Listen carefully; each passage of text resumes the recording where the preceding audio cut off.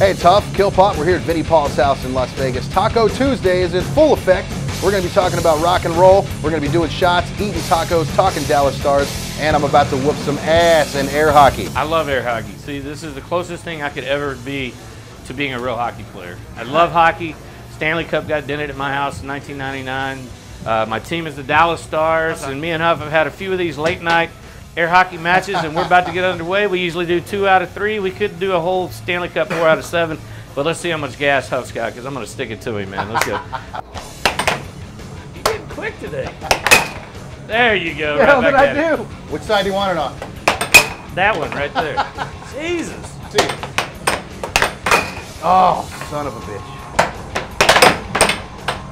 Oh no! Don't tell me we timed Oh, out at the- three to three. Ah. wow, that's Don's number two. Okay, Vinnie, so you're a big Dallas Stars fan, and they play a song that you wrote at their hockey games. How did that happen? I bring it. Oh, I scored for you. Damn it, Dennis.